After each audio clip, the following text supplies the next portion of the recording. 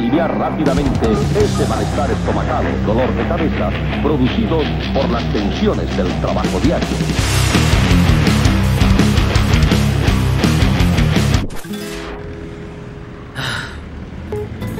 A ver, a ver, ¿en qué estaba? ¿En qué estaba?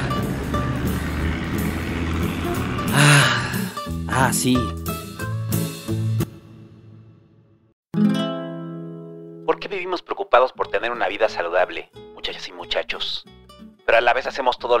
Contrario, llevar una vida saludable. ¿Está bebiendo? ¿Tomando refresco? ¿Buscando qué desayunar que no sea esa insípida fruta que se llevó al trabajo? ¿Con la fe de que ahora sí se la comerá en lugar de un pan? Lo estoy viendo. Aléjese del refrigerador. Sabe que ya está lleno. Solo es gula. ¿Qué? No. Suelte ese pedazo de pizza. Suéltelo. Escucha este podcast mientras hace ejercicio y se recrimina los excesos del fin de semana, que ahora lo tienen levantando pesas, haciendo sentadillas, corriendo en el parque y pensando desesperadamente que al terminar probablemente se come un tamal o cualquier cosa que está lejos de ser saludable, pero con la esperanza de que la siguiente semana, ahora sí, ahora sí va a cambiar. Pero los lunes se juntan y se vuelven semanas, luego años, luego lustros. Y ahí sigue usted peleando contra su yo insalubre, que cuando llega el lunes le dice, ahora sí, la siguiente semana, esta, date el gusto. Hagamos un ejercicio inicial. ¿Cuántas cosas tiene en su casa para llevar una vida saludable? ¿Tiene una caminadora? ¿Una elíptica? ¿Un tapete de yoga? ¿Una ruedita con ligas? ¿Una bicicleta fija? ¿Un shaper? o alguna cosa que pensó que usaría y ahora está ahí, sirviendo de tendedero en el mejor de los casos, o solo arrumbada por algún lado, esperando a ser rematada en internet cuando por fin acepte que quienes promocionaban esos artículos eran gente que ya estaba en forma. ¿Por qué no? No montaron a un gordo a hacer ejercicio para grabar ese infomercial. Montaron a alguien que ya llevaba una vida saludable. Le pagaron. Todo para crearle la ilusión de que llevar una vida saludable se soluciona a tarjetazos. Busquen su cocina, tiene el NutriBullet, la maquinita para rayar verduras, el sartén que no necesita aceite y de cualquier forma usted lo usa para freír tocino o hacerse un sándwich de queso. Encuentra por ahí un bote de linaza que pensó que atraería la grasa como un imán, un polvo químico que supuestamente es una malteada y en teoría le quitaría el hambre, pero al que siempre pensó en remojarle unas galletas. Busque más arriba, hay proteína en polvo para esa vez que decidió meterse al gimnasio suplementos, complementos, vitaminas y algo de chía para que no le dé hambre. Amaranto, al que recuerda haberle puesto chocolate en polvo y un plátano. Tiene por ahí unas hojas de algún nutriólogo al que decidió pagarle para no hacerle caso. Un recetario de comida saludable que venía gratis en un paquete de pan. Situación que más parece una burla.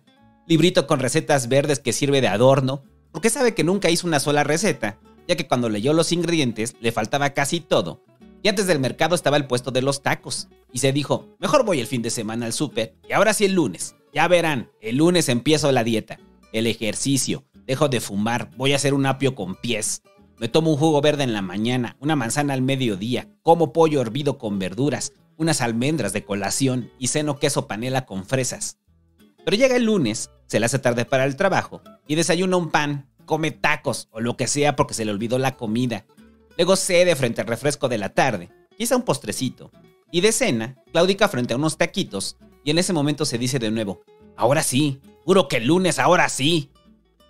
Y antes de que este podcast se vuelva culpígeno, quiero dejar claro lo que ya todos sabemos, y es obvio. Sí, llevar una vida saludable es una cuestión de clase, de privilegio. Pocos son los que cuentan con el tiempo suficiente para dedicarle dos horas del día a tener glúteos de acero y brazos más hinchados que las nalgas del sujeto que su mayor preocupación es que le queden simétricas. Sí, comer saludable en su mayoría sale caro, y para el gran porcentaje de la gente no hay tiempo suficiente para hacer una comida sana y debemos recurrir a nuestra comida rápida cargada de grasa, carbohidratos y salchichas de origen desconocido que por salud mental queremos pensar que son salchichas. Sí, no toda la gente puede desayunar jugo verde, ni claras de huevo, ni atún con arroz, ni siquiera tienen tiempo para otra cosa que no sea viajar al trabajo, ponerse varias horas frente a una computadora, salir a comer lo que sea, regresar a la computadora, regresar a casa. Y a esas alturas están tan estresados por el día que tienen poco interés en cenar una rebanada de jamón o fruta. No, quieren que su día valga la pena, que soportar ese estrés se justifique. Claro que se ganaron esos tacos de cena. Por supuesto que se merecen un pan con leche. No hay duda de que pueden echarse una rebanada de pizza si eso les ayuda a soportar la jornada diaria, que los puede desquiciar. El acceso a una alimentación balanceada a tiempo para hacer ejercicio, hasta la terapia para alejarse de las adicciones, es un privilegio de que generalmente solo gozan algunos cuantos. Y alguien que no lo entienda dirá, Güey, pues que salgan a correr, a hacer gym el fin de semana, no mames. que se alimenten bien esos días, que mediten, que siembren sus propias verduras. Me agravia su mala salud, que cuiden su cuerpo. Y la realidad es que el fin de semana la gente quiere excederse en todos los sentidos. Quiere comer rico, arrellanarse en el sillón, desean hacer cualquier cosa que se sienta como algo ganado, después de la semana intensa de trabajo que tuvieron que soportar. El acceso a la vida saludable es un privilegio que está vedado para muchas personas. Pero aquí viene la pregunta molesta. ¿Ustedes de esas personas?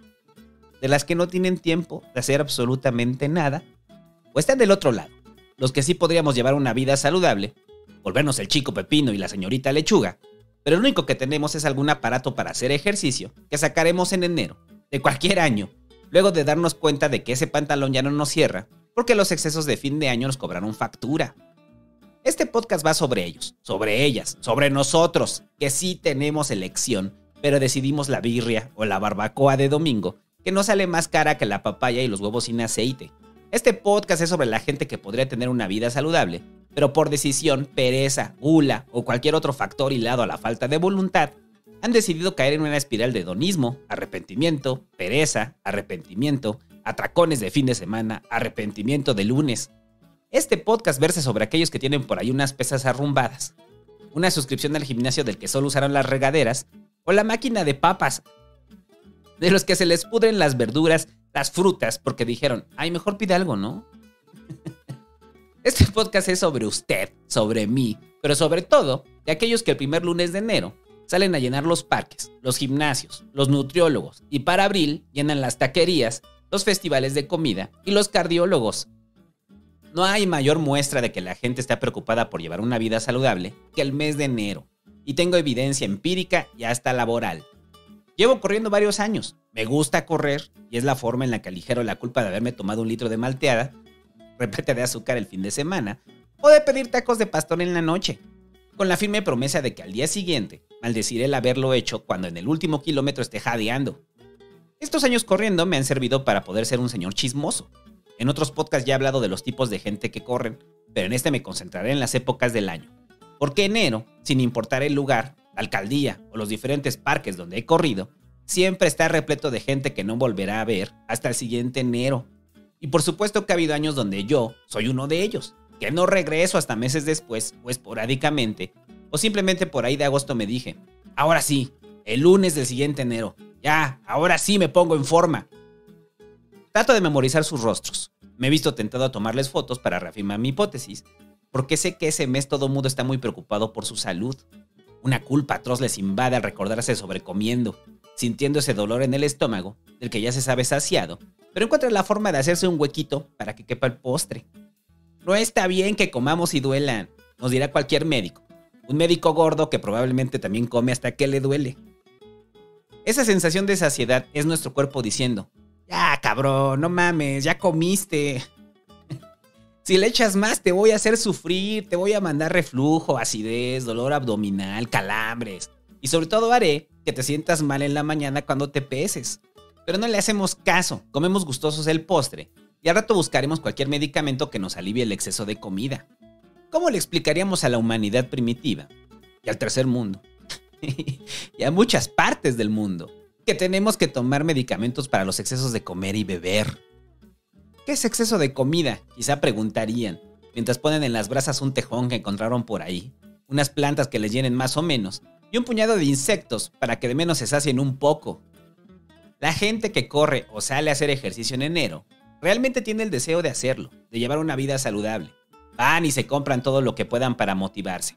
Tenis nuevos, ropa deportiva invernal, botellas de agua, cualquier cosa que los obligue a hacerlo, porque ya gastaron. Y esa es la trampa en la que caemos todos ese mes. Creer que porque ya gastamos, nos va a doler el no hacerlo y nos obligaremos a hacer ejercicio. Regresemos al párrafo inicial. ¿No cree que si tiene cualquiera de esas cosas ahí arrumbadas es la muestra clara de que ni gastando nos obligamos? Solo aliviamos la culpa, de eso viven los gimnasios. Por eso le ofrecen anualidades, promociones de 2 por 1 trae a tu amigo gordo que tampoco tendrá fuerza de voluntad y te descontamos la mitad de la membresía, que solo usarás un par de veces. Una para bañarte, la otra para ir a la alberca, donde deseas que ojalá vendieran cerveza y camarones. Pero regresando al parque, en enero la pista se satura y puedo ver gente de edades muy variadas sudando la gota gorda. Las señoras hacen zumba de combate, tiran puñetazos y patadas a la gordura, mientras suena de fondo Elvis Crespo. Los señores caminan, trotan y algunos intentan correr unos metros antes de sentir que se sofocan, y mejor siguen caminando.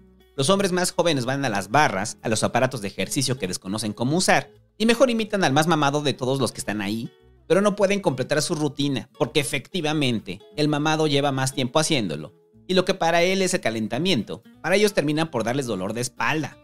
Si se pudiera ver el dolor y el sufrimiento, no cabe duda de que los parques en enero los parecerían como una bruma negra que podríamos notar kilómetros a la redonda. Ah, mira, allá a lo lejos hay gente sufriendo con el ejercicio. Desde aquí se puede percibir el aroma del dolor. Las ganas de al menos bajar un kilo para poder publicarlo en Instagram. Enero es el mes oficial de los gordos en el parque. Y lo sé porque yo también he sido de los gordos de enero.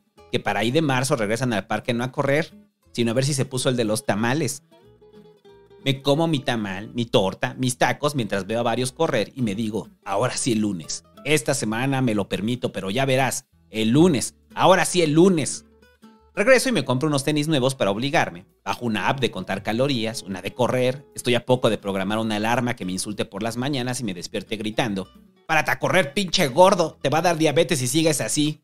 Y sí, regreso el lunes, como lo prometí. Me siento motivado, veo mis tenis nuevos, activo mis apps, doy unas vueltas en la pista y regreso a mi casa lleno de energía, satisfecho de haber cumplido, feliz de dar el primer paso hacia una vida más saludable. Pero llega el martes y ya no voy. llega el siguiente lunes y tampoco voy.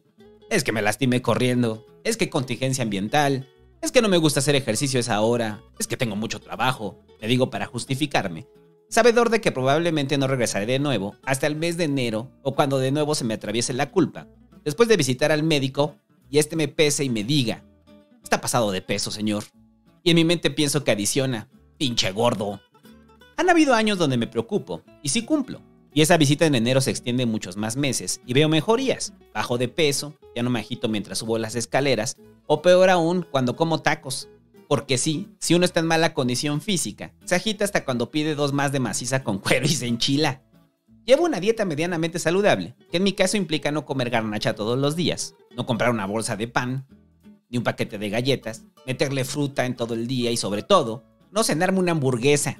Porque pese a esa frase que publica su familiar que siempre quiere bajar de peso y solo postea cosas sobre bajar de peso, pero nunca lo vemos bajar de peso, pese a esa frase rimbombante e irreal de desayuna como un rey, come como un príncipe y cena como un mendigo, hacemos todo lo contrario. Desayunamos como albañil. pero de menos el albañil quema las calorías y está más marcado que su amigo que se toma sus malteadas proteicas. Nosotros desayunamos como albañil, pero sin el esfuerzo físico que conlleva. Comemos galletas príncipe de postre en la comida, porque tal vez no entendimos que hablaba de un príncipe imaginario que come berros y pollo hervido. Y cenamos como oso listo para hibernar. Pero a diferencia del oso que no necesitará comer en mucho tiempo, al día siguiente volvemos a desayunar como albañil. Haré un paréntesis breve. ¿Ustedes de los que desayuna como rey? Yo no puedo, en serio no puedo. Para mí el desayuno siempre será algo ligero, y por desayuno me refiero antes del mediodía, porque apenas el sol se posiciona sobre mi cabeza de forma vertical, ya no quiero desayuno, quiero unos tacos. Tenía un buen amigo que algún día llegó eructando y me dijo, perdón güey, es que desayuné caldo. me quedé perplejo. No era consomé ni nada parecido. No era fin de semana donde quizá podría ser una excepción. No, era lunes y había desayunado caldo de res, con tortillas y por supuesto frijolitos. Y no es que rechace el caldo, me encanta, pero no un lunes a las 7 de la mañana. Desayunar pesado para mí tiene su equivalencia en el borracho del lunes, que en la mañana ya se está dando su primer trago para soportar el día. Cosa que también hacía mi amigo. pero quiero pensar que no por ser alcohólico desayunaba pesado, porque después descubrí que hay mucha gente que el desayuno no le sabe si no es lo suficientemente sustancioso. Y probablemente estén en lo correcto, porque muchos años de mi vida, mi desayuno solo era un café, un plátano y un pan. Ah, pero no crea que ese pan saludable. El pan tostado con una embarrada de mermelada baja en calorías. Ese que comemos los adictos al pan cuando queremos bajar de peso porque claro, en lugar de dejar el pan, mejor buscamos el pan medianamente saludable.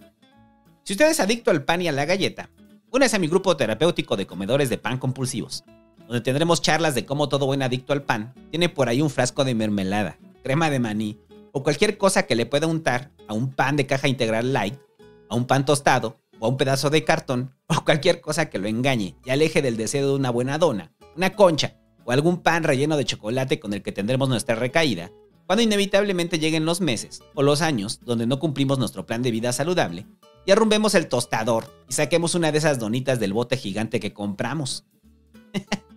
con la promesa de comernos solo una. Pero usted sabe que eso no es posible. Por eso las venden en botes. Confían en que no podrá parar. Cerraré este paréntesis gigante. Más adelante retomaré el tema de las porciones, así como cuando uno se para por una donita más. A fin están chiquitas. y así termina con ocho malditas donitas devoradas. Le hubiera salido mejor comerse una dona del tamaño normal. En los meses y años que sí cumplo con mi proyecto de vida saludable, puedo fisgonear a la gente que veo haciendo ejercicio. Así descubro rostros familiares que regresan con culpa en enero. A los mismos de siempre que mes con mes se les ve ahí. A los que van por primera vez y no regresarán. A los desempleados. A los que pueden correr a las 11 de la mañana y uno siempre se pregunta, ¿a qué se dedicarán para estar aquí lunes a las 11 de la mañana? Cosa que supongo que muchos también se preguntarán al verme. Ha de ser un delincuente. Pienso que piensan.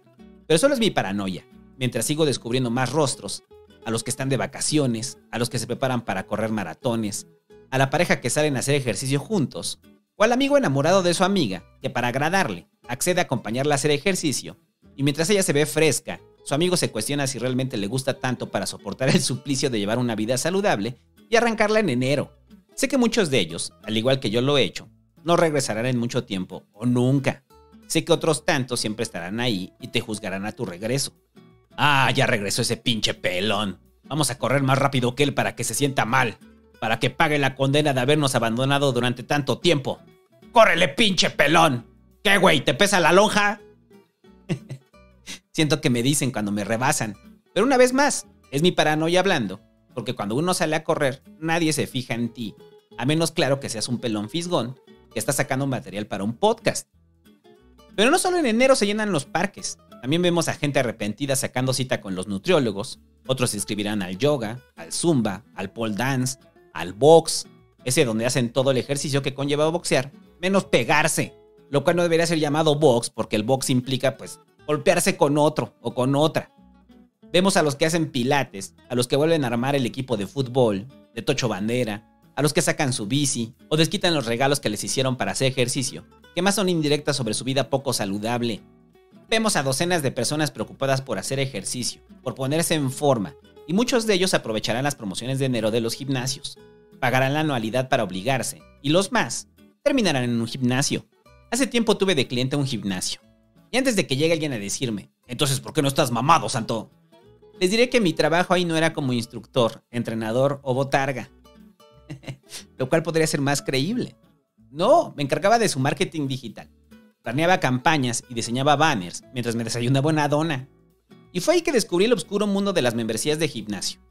La dueña de dicho gimnasio, una mujer de 50 años que tenía el abdomen más marcado que recluso al que apodan el tabique, me explicó a grandes rasgos cómo funcionaba el negocio. La clave estaba en que pagaran la anualidad o mínimo tres meses, ya que ahí es donde la mayoría de la gente deserta. Todos los meses después de marzo eran los meses más bajos, donde solo llega la gente a la que le rompieron el corazón los que quieren decirle a su ex, mira de lo que te perdiste. A pesar de que todo el tiempo que estuvieron juntos, estaba en la peor condición física, mientras comían papas y veían Netflix. En esos meses están los que no llevan ni un mes y ya se toman fotos frente al espejo como un mensaje de liberación personal y una señal de llamado al aparamiento para mitigar un poquito el dolor del desamor. Pero eso será en otro podcast. Poniéndolo en una definición más práctica, de enero a marzo, los gimnasios están atiborrados de gente que experimenta culpa por los excesos del año previo. Los que sí se pararon el lunes y al día siguiente de su primera sesión de gimnasio, caminarán como ancianos al sentir que les duele cada músculo de su cuerpo. De marzo a diciembre están llenos de gente deprimida, que transpira tristeza, duelo amoroso, ansiedad, y quienes se mantendrán ahí hasta que encuentren una nueva pareja con la cual puedan comer nachos y ver películas, o logren superar su ansiedad yendo a terapia, o terminen medicados, o encuentren otra forma de canalizar sus emociones sin la necesidad de levantar pesas. O simplemente se sientan bien, encuentren placer en otras cosas y digan, ay, qué hueva estar yendo al gimnasio. Y en medio de esos dos grandes grupos de personas estarán los de siempre, los adictos al ejercicio, los fisicoculturistas, la gente que usa Tinder, los deportistas, los nutriólogos, los vigoréxicos, los narcisistas, las edecanes, los edecanes, los que le encontraron gusto a ir al gimnasio y ahora forma parte de su rutina, los actores, las actrices, o todos que a excepción de los de Tinder, dependen de su imagen física para su trabajo. Y no es una crítica hacia aquellos que llevan una vida saludable, ejemplar y se matan en el gimnasio. Bien ganado se tienen ese culo firme. Tiene todo mi reconocimiento y admiración sobre su culo. Lo que hacen es muy difícil. Si no viviríamos en una sociedad habitada por personas salidas de Marvel o Pornhub, requiere disciplina, cuidado, esmero, preparación física y mental. Necesitan dedicación, fuerza de voluntad, motivación interna, levantarse temprano, hacerse tiempo, programar una rutina, todo aquello que la mayoría de quienes no visitamos los gimnasios no tenemos o no queremos hacer. Pero eso sí, apenas se ve un mamado de gimnasio y se piensa que es un idiota. Apenas se ve una mujer buenísima de gimnasio y se cree que es hueca. Y esto no quiere decir que no existan, claro que sí, abundan así como también abundan los gordos pendejos, los enclenques idiotas, las flacas estultas y las gordas lerdas. O resumiendo, no por ir al gimnasio o hacer ejercicio, quiere decir que ocupe su tiempo en cosas más nutritivas intelectualmente. Probablemente a esa hora que pudo hacer ejercicio, la pasó viendo un programa de comedia idiota y absurdo mientras se comía una hamburguesa. Hay un menosprecio por la gente de gimnasio y créame, yo no los desprecio, ni aplico prejuicios. Espero que sea corroborado o rechazado. Y sí, a la gente de gimnasio les encanta hablar de eso. Están obsesionados con ello. Así como usted solo habla de la última serie que vio, de Pokémon o cualquier cosa que sea su obsesión, y no aporte un solo gramo de cultura, conocimiento o aprendizaje. Solo es un gusto, una actividad, un entretenimiento, una obsesión y ya. Esto no quiere decir que me guste el gimnasio levantar pesas. Respeto que a usted le encante. A mí me aburre. Es terriblemente aburrido, por eso corro. Es más divertido, ves gente, un perro se te cruza y está a punto de tirarte, te caes en un arbusto, escuchas noticias, correr en otros lugares es una bonita experiencia, donde también se te atraviesa un perro y también te caes en un arbusto, claro, mientras admiras el paisaje. Pero para aquella dueña del gimnasio, la gente que profesaba un amor por asistir al gym, que se levantaban metódicamente cada lunes, que pagaban su anualidad y sí iban, eran simples lastres en su negocio porque ahí reafirmé lo que muchos ya suponíamos. La gente de gimnasio está siendo subsidiada por cientos de miles de personas que en este momento quizá recuerden la vez que pagaron la membresía anual y solo fueron 10 días. Y en uno de esos sintieron esa envidia del que por más que se esmeran llevar una vida saludable, sabe que nunca se parecerá a ellos y ellas. Y aún así, con ese resentimiento, sigue pagando la anualidad para no ir y seguir subsidiando a quienes odia aspirar a ser. La estrategia de marketing fue muy precisa. Nos interesaban aquellos que experimentaban culpa por no llevar una vida saludable, los que se veían en el espejo y se apretaban la lonja, molestos de haberse descuidado por el trabajo, por una relación larga, donde en teoría, al estar garantizada la atracción, podían acostarse a echar panza. Y si de esa relación salieron hijos, resulta peor, porque lo más seguro es que ahora come doble, lo suyo y lo que no se terminó su hijo. Buscábamos perfiles adecuados, gente que en algún momento ya había abandonado otro gimnasio, porque eso garantizaría que abandonaría este pero dejarían su dinero y el lugar libre para la gente regular de gimnasio. Le apostábamos a los que claudican, a los que se forzaban porque ya habían pagado. Mientras más claudicaran, mejor para el negocio. Mientras más preocupados estuvieran por su imagen, más fácil sería traerlos. Funcionó. Lo suficientemente bien para cubrir los gastos hasta el siguiente año. Para la dueña de ese gimnasio, solo eran números representados a través de gordos o personas con los peores hábitos un día hallaron una motivación que ella sabría perdida. Cuando cumplía su cuota, se relajaba al saber que el funcionamiento del gimnasio había sido pagado con antelación. A partir de ese momento, la ganancia provendría de uno que otro que descubre su pasión por las pesas, pero ella contaba más con los deprimidos, con los divorciados y la gente deseosa de mostrar su nueva vida en redes, un reconvertido. Y es que no hay nada más molesto, para la vez que sirva como gancho publicitario, que la persona reconvertida a la vida saludable. Son esas personas que hasta apenas hace unos meses o un año los veíamos comerse solos una pizza familiar, tomarse dos litros de coca y la mayor actividad física era cuando se levantaban, bajaban por el elevador, agarraban el carro y se iban por tacos. Los peores hábitos que pueda tener una persona eran ejecutados por ellos y ellas. Su esperanza de vida era más baja que la de un gato callejero. Pero de repente, debido a una ruptura, a una enfermedad, a una posible enfermedad, encontraron la iluminación en el ejercicio y la vida saludable. Fueron bendecidos por el dios de los mamados y las nalgonas. Ese dios de Miguel Ángel, que para ser un venerable anciano, más parece un sugar daddy, con los brazos como troncos y los pectorales a punto de reventarle la toga. Prefiero a los drogadictos reconvertidos en cristianos, a los carnívoros vueltos veganos, a los alcohólicos vueltos anónimos. Es más, prefiero a los comunistas de juventud vueltos de centro, o a la gente conservadora vuelta progresista, que soportar a un reconvertido de la vida saludable. Todo en ellos grita, mírame, reconóceme, alábame, salí de esa vida de cosas capeadas, soy mejor que tú. Abandoné el camino de la perdición de lo frito, me moví y ahora me siento bien, deberías preguntarme cómo. Y así fue como surgió el eslogan de Herbalife, por un reconvertido a la vida saludable. Están deseosos de hablar de eso, es único tema de conversación. Que si la proteína, que si la dieta cetogénica, que si la siguiente semana les toca pierna, que les encanta hacer brazo, que si el CrossFit es lo mejor que se pudo haber inventado. Sí, a mí me gusta correr, les respondo, y se ponen a la defensiva, como si les hubiera dicho algo terrible. No, santo, no mames, ahí pierdes músculo, ahí no trabajas, mira, tócale, tócale, te digo, siénteme.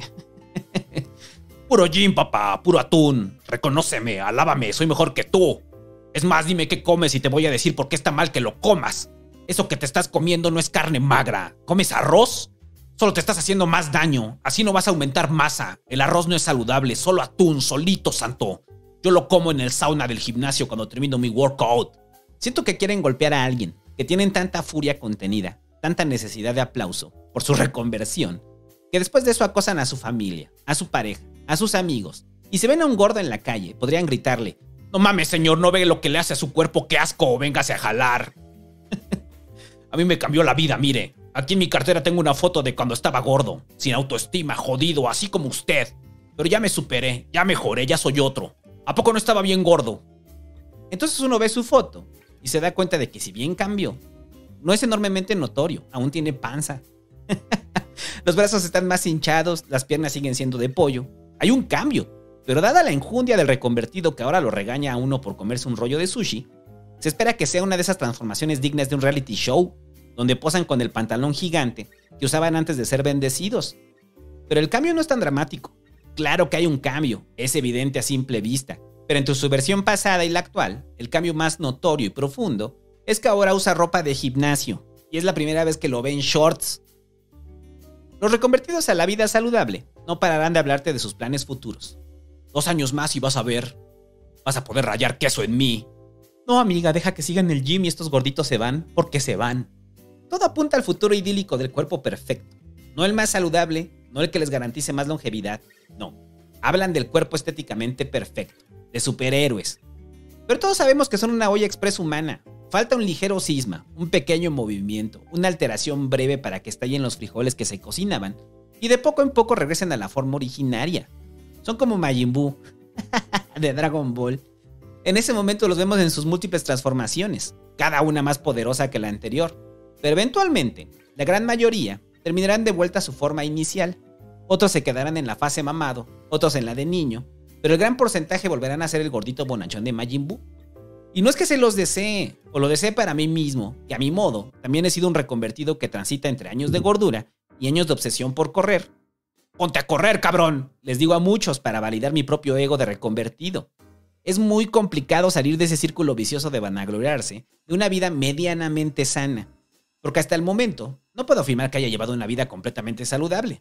Porque que me perdone el Dios de Miguel Ángel con su cuerpo perfecto, que me perdonen los vigoréxicos obsesionados con el ejercicio, que me perdone mi gastroenterólogo, mi cardiólogo y todos los médicos que algún día me tengan que atender producto de mis épocas poco saludables. Pero qué rico, qué deliciosa es la vida cuando no piensas que te estás matando de a poco en poco. Si hubiera algo que nos garantizara no tener repercusiones de una vida poco saludable, estoy seguro de que los gimnasios se vaciarían, los productos bajos en calorías se dejarían de vender y la gente sería más feliz entregándose al hedonismo despreocupado. Muchos dejarían de engañarse afirmando que disfrutan comer sano, cuando en realidad lo que tienen es miedo a los efectos de comer mal. A nadie le gusta comer sano. Les gusta el resultado que eso produce, ya sea en sentirse mejor físicamente, en tener un cuerpo perfecto, o caber en el vestido que ya no les entra.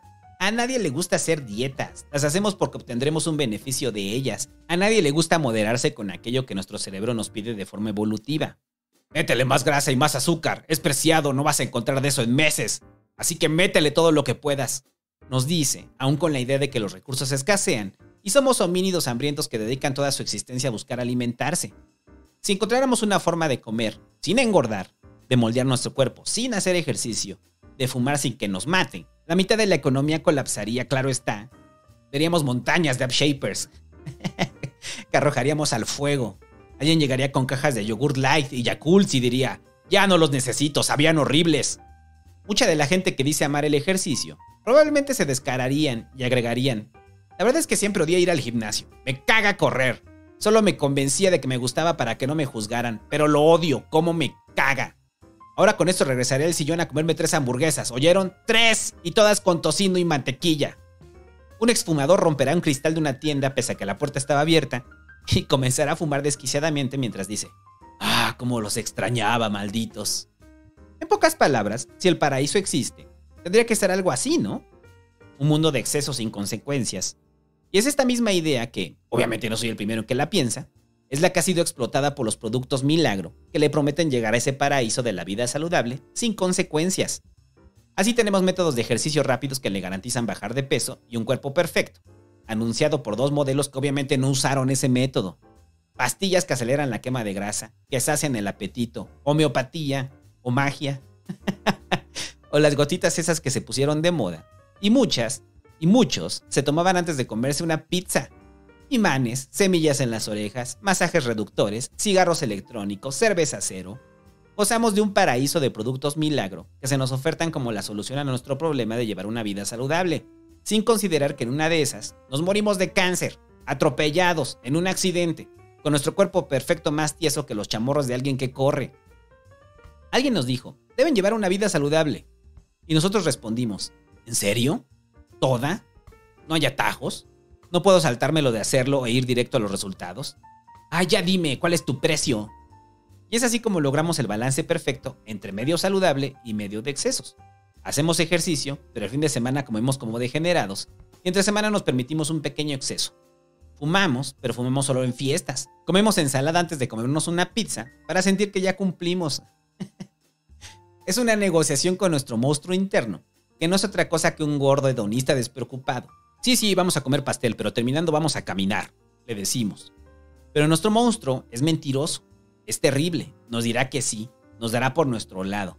Sí, claro, Santo, tú comete otra rebanada de pastel, no pasa nada. Y si pides otra malteada, date chance. Yo sé que el lunes ahora sí vas a cambiar. Tú hazlo, date el gusto. Has estado corriendo mucho. Es más, en la semana hasta pediste que tu torta de milanesa le pusieran lechuga. No me digas que, no me digas que eso no es un avance. El lunes, yo confío en ti, por supuesto que confío en ti. Y así claudicamos. Nuestra semana de buena alimentación se va al carajo en esa sentada. Nuestros meses haciendo ejercicio poco importan. Porque llega el lunes y el monstruo ya no es cálido, ya no es lindo, ya no negocia, se despierta junto contigo y te dice, ya no fuiste a correr, pinche gordo, mejor va a comprarme un tamal. ¡Córrele, pinche falto de voluntad! ¿A quién quieres engañar? Vivimos constantemente preocupados por la dieta, y ese monstruo lo sabe. Es conocedor de que cada decisión saludable que tomemos terminaría con su vida y no quiere morir. Se va a defender, va a hacer todo lo posible para que seamos permisivos con nosotros mismos y decidamos que no pasa nada si nos echamos otros dos tacos. ¿Qué es lo peor que puede pasar? Nos pregunta. Y en la noche nos paramos con dolor de estómago, buscando desesperadamente esas pastillas mágicas para el glotón arrepentido que vuelve a recaer. Cuando hablo de ese monstruo, es en un sentido metafórico, porque alguien saldrá a acusarme de promover la anorexia o la bulimia. Y no, no hablo de comer. Comer es natural, es delicioso, es una de las mayores glorias de la vida. Hablo del exceso. Y no solo de la comida, sino de la bebida, de todo aquello que nos metamos al cuerpo. Y es eso, un exceso, no una actividad normal. No está mal comerse unos tacos. Quizá lo que está mal es hacerlo diario y aprovechar las promociones de 2x1 solo. Amigos taqueros, no les venda promociones a la gente que no va acompañada. Los quieren todos para ellos. Lo sé porque yo he aprovechado esas promociones. No está mal comer pastel. Quizá lo que está mal es que pida pastel para llevar y salga feliz pensando que tiene para desayunar toda la semana. No está mal solo hacer ejercicio de vez en cuando. Quizá lo que está mal es que no recuerda la última vez que se agitó, que no fuera cargando las bolsas de supermercado, que están repletas de esas cosas que sabe que no debería comer. No hablo del acto de alimentarse, hablo del exceso. Y vaya que nos gusta el exceso. Y esa es la razón fundamental de por qué a veces claudicamos y rechazamos la vida saludable. A la gente le gusta tomar refresco como si fuera agua. Es que el agua no me gusta, santo, dirá alguien, como si nuestros antepasados hubieran bebido cascadas de Coca-Cola. A mucha gente no le gusta comer verduras. Es que me dan asco, dirán, como si nuestros antepasados hubieran descolgado Twinkies de los árboles. El exceso, las consecuencias del mismo, es algo que deberíamos tener siempre presentes, más allá de aquellos que no pueden permitirse una alimentación saludable, más allá del capitalismo que nos bombardea con un comercial de comida basura y en el siguiente nos hace sentir culpables por comer nuestra basura. Más allá de los comedores compulsivos que sufren de una adicción o comen por un vacío emocional, estamos aquellos que somos conscientes de que nos encanta el exceso, que nos fascina lo frito, que luchamos día a día con ser medianamente saludables y claudicamos de vez en cuando, Ahí en la isla del exceso están los que se maravillan con los buffets y piensan que en algún día podrán ganarles. Los que se meten no solo comida, sino cualquier cosa que saben que es nociva para el cuerpo, pero les encanta el exceso. En esa isla del exceso, que es la representación de lo que podría ser el paraíso para muchos, donde se vive sin consecuencia, pero por eso es el paraíso. La única forma que pueda existir algo así es que se muera y nos venga a decir que así es el paraíso o que nos diga que allá también se deben contar las porciones, porque su trasero ya no cabe en su nube. o alguien se murió de un pasón por inhalarla. Creo que muchos aspiramos a una vida medianamente saludable. Yo me ubico en esa línea, dado mi propio monstruo, mi propia voluntad, formación y también mi gusto por el exceso concentrado en la gula. Pasamos de la vida medianamente saludable a la insalubre cada lustro, conscientes del riesgo que representa en nuestras vidas el seguir haciéndolo. Le gusta el exceso de comida Bien, se está jugando la posibilidad de que la lotería genética haya salido perjudicado y le toque diabetes. ¿Le gusta el exceso de drogas? Bien, se está jugando la posibilidad del daño neuronal o quedarse tirado en una cama. Pero a diferencia de una estrella de rock, su mayor mérito artístico fue un concurso de dibujo que ganó cuando iba en la primaria. ¿Le gusta el exceso de pereza? Bien, se está jugando la posibilidad de que también salga con el boleto ganador de un infarto. Y aquí siempre vendrán los salvaguardas mentales que tenemos para pensar que a nosotros no nos va a pasar y podemos seguir fumando siempre, pidiendo los tacos con gordito eternamente, o pasar todo un fin de semana sentados en el sillón jugando videojuegos sin consecuencia. No, santo, mi abuelo fumó, comía mal y vivió hasta los 90 años. No, santo, mi abuela desayunaba pan con coca, nunca hizo ejercicio y mírala, vivió casi 100 años. No, santo, ese güey hacía ejercicio, se alimentaba bien y mira, se murió. Yo creo que por eso se murió. Desgastó su cuerpo haciendo ejercicio. Y claro que hay casos así, nos gusta pensar que estaremos en ellos que tenemos una genética poderosa. ¿Qué es más? Deberían replicarnos o estudiarnos porque nada nos pasa y nada nos pasará. Pero la estadística demuestra lo contrario. Son casos aislados, son los menos. Los más generarán diabetes, enfermedades renales y demás cosas terribles por el exceso de refresco. Los más se morirán de infartos, trombosis, derrames y cosas feas por la vida sedentaria. Los más terminarán con cáncer de pulmón por años de fumadores compulsivos. No lo digo yo, lo dice la estadística. a todos nos gusta pensar eso que tenemos el boleto ganador a la longevidad, que nos ganaremos la lotería, y al igual que el que sueña con ganarse la lotería sin siquiera comprar un boleto, así soñamos con la vida saludable, sin siquiera comprar el App Shaper o alguna máquina de hacer ejercicio. Hace tiempo conocí a alguien que era un gustoso del gimnasio y me explicaba que todas las máquinas de hacer ejercicio de los infomerciales sí servían. Bueno, todas aquellas que implicaban esfuerzo físico. No hablo de los supuestos tenis para bajar de peso, la milagrosa máquina que da toques para reducir la grasa mientras come papas y ve la televisión, la que le da masaje y le activa los músculos de las nalgas. No, me explicaba que claro que servían si seguías una rutina, si le dedicabas tiempo y lo complementabas con una alimentación saludable, si te volvías disciplinado, si llevabas un registro de tu actividad y demás cosas que claramente la gente no quiere hacer. de ahí que en el tianguis de chácharas, la última vez que fui, estaba repleto de máquinas de hacer ejercicio de caminadoras y elípticas, de bicicletas fijas y cuanta cosa más que vendía un señor que evidentemente nunca usó porque la pasa le reventaba el pantalón. Me vi tentado en comprar una, pero no, ya no tengo espacio. Las pesas que no uso estorban. y la esquina donde podría estar ya está ocupada por mis barras paralelas para hacer fondos, donde ahora seco mis toallas. Lo he aceptado, puedo aspirar a una vida medianamente saludable. Jamás seré de los que se matan en el gimnasio. Jamás podré estar a dieta de esas donde la gente siempre sonríe como psicópata al de ensaladas, tazones de fruta, pollo hervido e insípido, y sientes que en algún momento te apuñalarían cuando no aguanten la presión de querer comerse algo de azúcar o grasa. Sigo luchando con mi adicción a la nicotina, no al cigarro, a la nicotina, y espero dejarla pronto, porque quiero correr un maratón. Batallo día a día contra ese monstruo del exceso y a veces claudico, frente a su canto que me dice, chingate ese pedazo, al fin mañana vas a correr, ¿no? No tengo la aspiración de lucir como estrella de Hollywood, que tienen personas encargadas para que luzcan así. Uno le hace de comer, otro lo pone a dieta, uno le trabaja el torso, otro se reparte en cada glúteo. Solo quiero llevar una vida medianamente saludable. Medianamente. No completamente. No saludable. Medianamente saludable. Así como usted. Que me permita vivir lo suficiente para excederme de vez en cuando. Porque en una de esas me atropella. Me da un infarto o pasa cualquier cosa que acabe con mi vida y me deje como perro atropellado en medio de la calle y me diga a mí mismo antes de morir, maldita sea, me voy a morir. Mejor se hubiera pedido dos tacos más.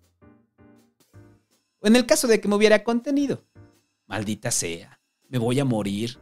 Y ahora si el lunes, juraba en serio que ahora si el lunes de la primera semana de enero del siguiente año, iba a llevar una vida saludable.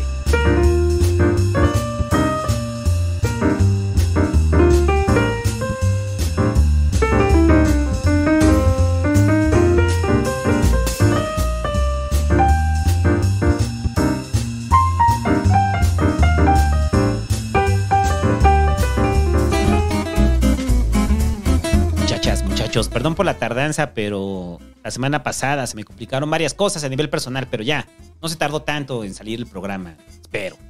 Yo trato de hacerlo semanalmente, pero hay veces que se me atraviesan cosas y espero que sean pacientes y agradezco su paciencia y agradezco la gente que hace posible este podcast para que pueda comprar tacos.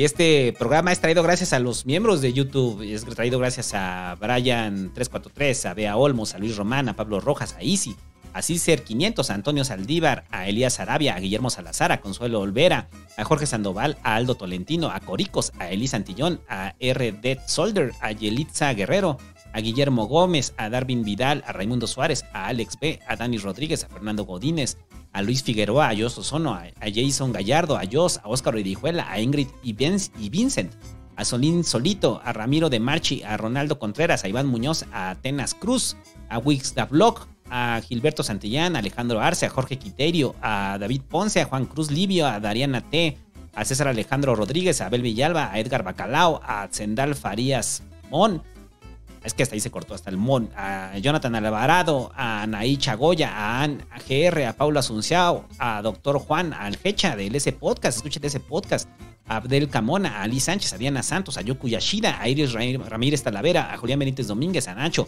a Poquinto, a Yuri Vargas, a Daniel Rojas, a Charlie Pérez, a Uriel MSS, a Rash Necrofir, a Manesga LG, a Diego Edmundo, a Darío Gutiérrez, a Chico Pan, a Liz Ruesgas y a Luis Suárez. Gracias muchachos, a toda la gente que hace la vida me da es posible.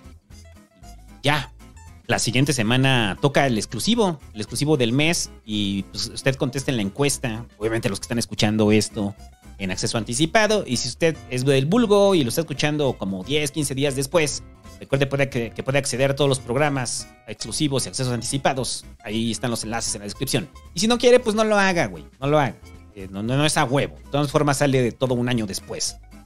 Y ya, me voy a hacer ejercicio.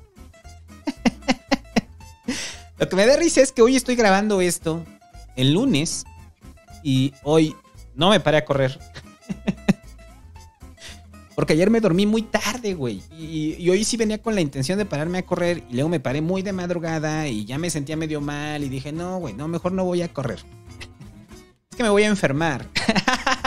Es la justificación. Es que me voy a enfermar. Siento que me voy a enfermar de la garganta. Entonces por eso no fui a correr cuando probablemente mañana despierte y esté bien.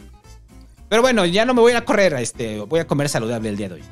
Ahorita voy a comer unos huevos con salchicha. y ya, nos vemos la siguiente semana. Adiós muchachos. Gracias a todos los que hacen la posible de la vida me da Dios.